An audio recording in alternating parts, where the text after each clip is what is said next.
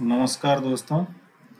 स्वागत है आपका मेरे यूट्यूब चैनल आरोग्य आयुर्वेदा में। मैं डॉक्टर महावीर एम डी का चिकित्सा राजस्थान आयुर्वेद यूनिवर्सिटी जो आज हम इस वीडियो के अंदर बात करेंगे राजस्थान आयुर्वेद मेडिकल ऑफिसर की जो वैकेंसी आई है six hundred thirty nine post के लिए। उसके लिए फॉर्म अप्लाई कैसे करना है?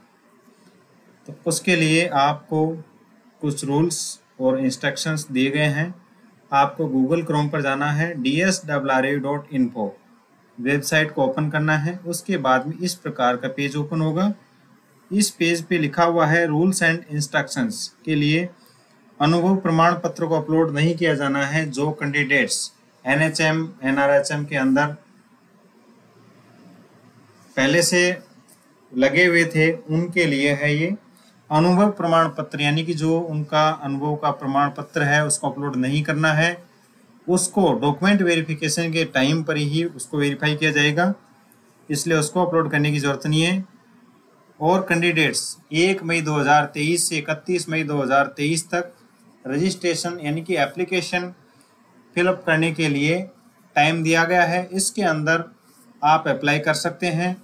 और 1 जून 2023 से 10 जून 2023 यानी कि 10 दिन का समय आपको करेक्शन के लिए दिया गया है। अगर एक मई 2023 से 31 मई 2023 तक फॉर्म के अंदर कोई भी त्रुटि या गलती रह जाती है बाय चांस तो आपको 1 जून 2023 से 10 जून 2023 तक इसमें सुधार करने के लिए ये समय दिया गया है 10 दिन का।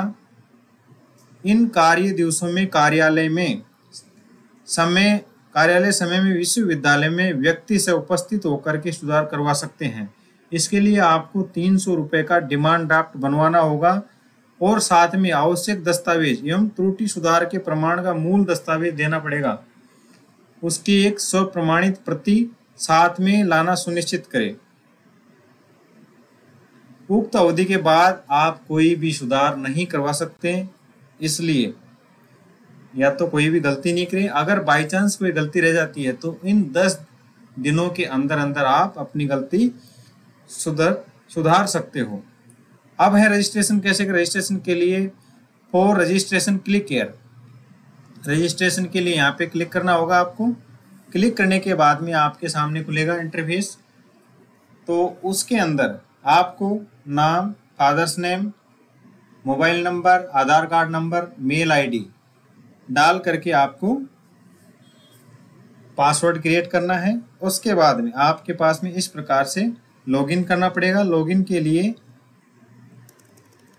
आपकी मेल आईडी और पासवर्ड जो भी आपने लगाए हैं, साथ में ये कैप्चा कोड डाल करके लॉगिन करना होगा। लॉगिन करने के बाद में आपके सामने इस प्रकार का इंटरफेस खुलेगा।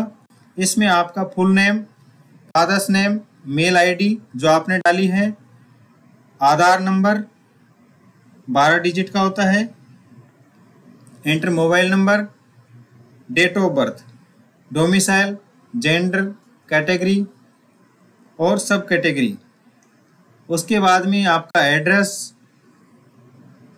एड्रेस के बाद में आपकी एजुकेशन क्वालिफिकेशंस और professional qualifications BMS internship registration information आपका रजिस्ट्रेशन नंबर क्या है? रजिस्ट्रेशन की डेट क्या है? और कब तक आपका रजिस्ट्रेशन वैलिड है? उसके बाद में आपको सेव करना है।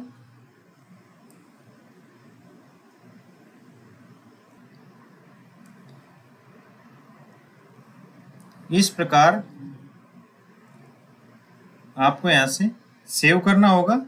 सारे डिटेल्स भरने के बाद में और फिर इसके जो एप्लीकेशन फ़ीस है, वो पे करनी होगी। इस प्रकार आपका ये फॉर्म फिल हो जाएगा। अगर इसमें आपको कोई डाउट हो तो आप मेरे से पूछ सकते हैं यूट्यूब में कमेंट के माध्यम से। और आयुर्वेद से संबंधित सूचनाओं के लिए मेरे यूट्यूब चैनल को ज़रूर सब्सक्राइब करें। धन्यवाद।